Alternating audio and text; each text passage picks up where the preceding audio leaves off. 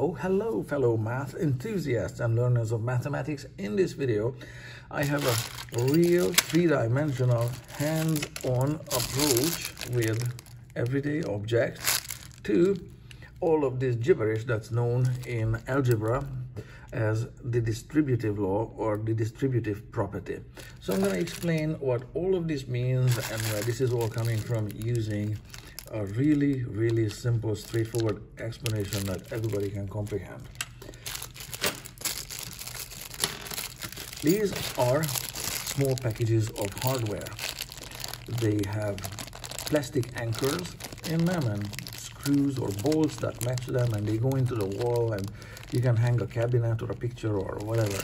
And sometimes there is a screw cap, sometimes there is a, um, here a little like this uh, L-shaped piece of metal, like a wall anchor, whatever, just different shapes.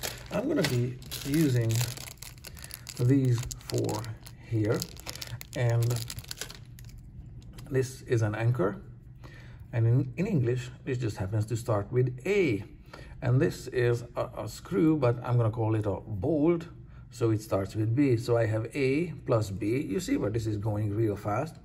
So I have A and B to play here with.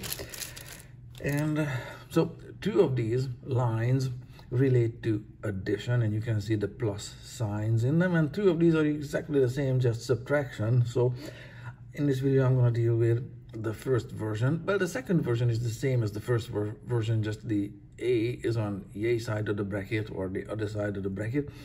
And what this distributive law deals with is what to do with the brackets in math and what do they mean and what do you do with the quantity that's inside and outside of the bracket.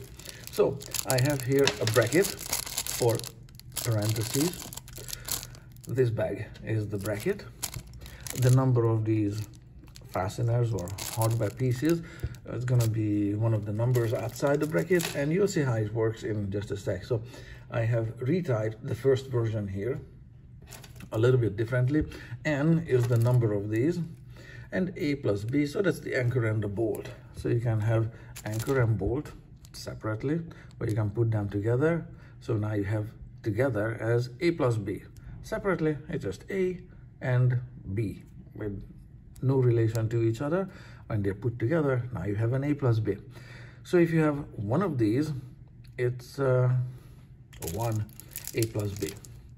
If you have two of these, you have two a plus b. But in math, 2a plus b is, the a plus b part is in a bracket, meaning that the two of them are in a plastic bag like so.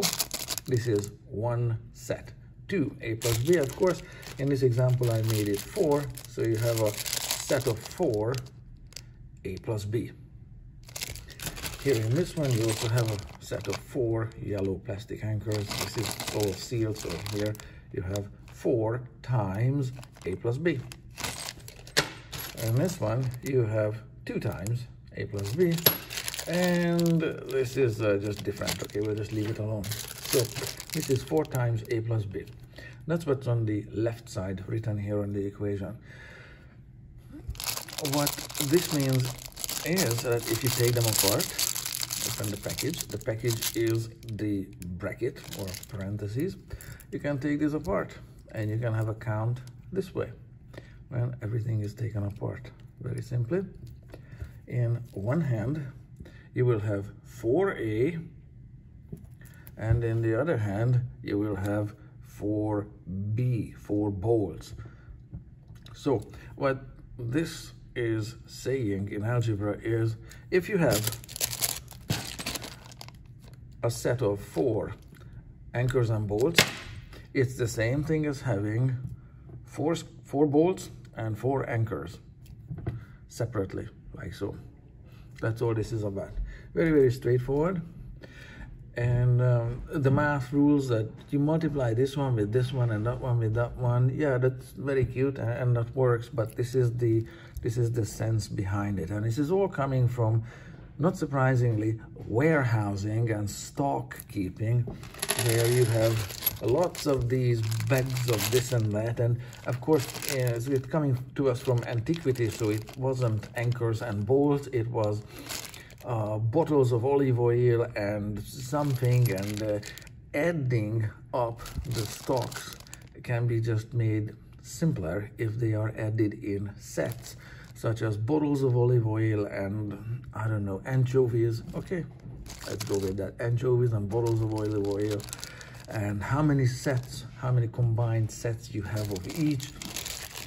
And of course you can have sets of sets. This is four times a plus b and you have 200 of these. So it could be this whole thing can be in yet another set of brackets such as uh, I don't know separate bracket a different kind of bracket like so. And you can write the 200 in front of it. So 200 sets of a set of four anchors and bolts like so.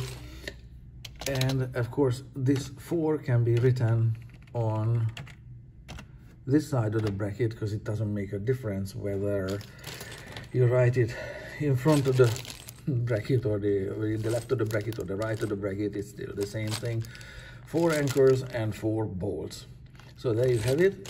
This is what they mean. This is what all this is coming from. So this was the addition version.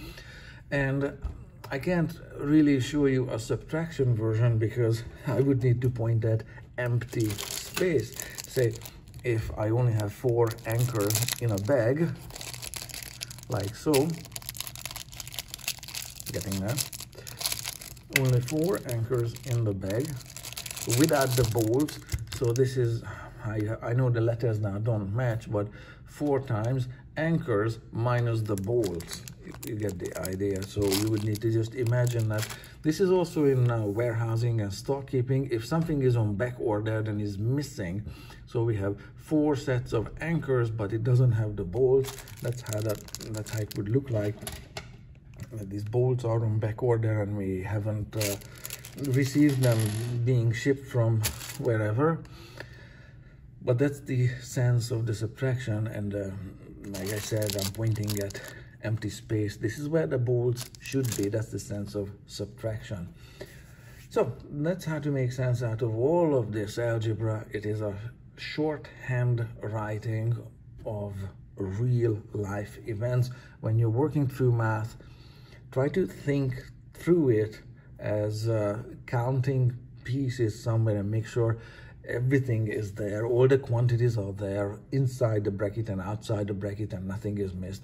There can be more letters inside the bracket. There can be two three five whatever number of things can be in a single bracket. Okay this also has two components. Either these metal l shapes or bolts but you get the idea. So there can be multiple things uh, inside the bracket that's not unheard of. So this is how distributive law works with this hands-on approach